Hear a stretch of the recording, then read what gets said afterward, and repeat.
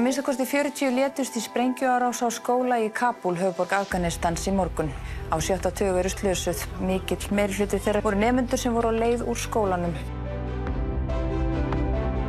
Já, nú 20 árum eftir að bandarækja hér réðist inn í Afganistan hafa talibanar nú náð þar aftur völdum. Afgönsk hjón sem komu hingað til land sem flóttamenn segjast næstum hafa mist barn sitt í örtröð á flugvellinum í Kabul. Barnið var hætt að anda og andlitið orðið kallt. Þau segja að engin friður náist í Afganistan á næstunni. Mikil hætta er talin ná að vinna alþjóðastofnana í Afganistan síðustu áratugi við auka réttindi kvenna og ebla mentun og fæðu öryggi barna fari forgörðum við valdatöku talibana.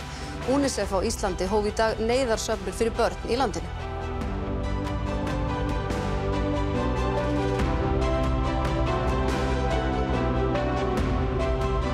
UNICEF tilur að 10 miljónir barna í landinu þurfi mannúðaraðstof, næringu, hjálpargögn og aðganga hreinu vatni.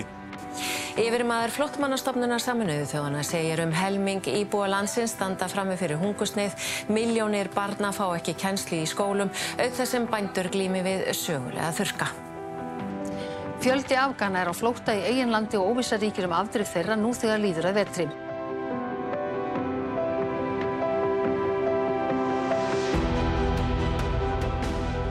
Mikil neyð hefur verið víða í Afganistan eftir að talibanar tóku völd. Fólk hefur gripið til þess ráðs að selja líffæri og jafnvel börn sín.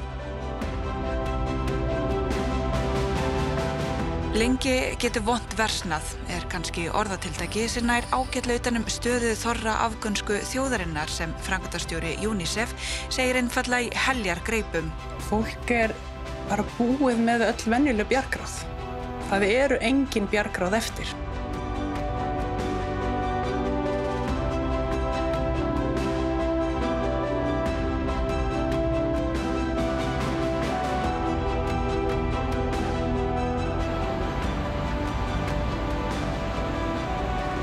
million years. Yeah.